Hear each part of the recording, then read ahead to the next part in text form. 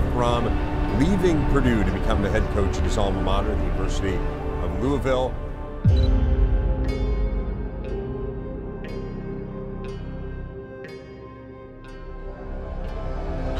Waits has it. Louisville rushes hard. He throws over the middle. That's and intercepted. Louisville's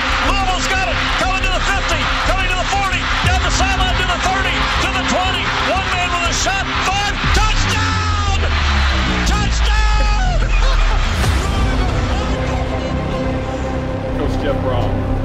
Really excited to be back home, be the head football coach here at the University of Louisville. Actually, it starts with myself. You guys know college football is very competitive at every level. The difference between winning and losing is, is this much, uh, so it takes everybody to get it done. That's for the, uh, the next season.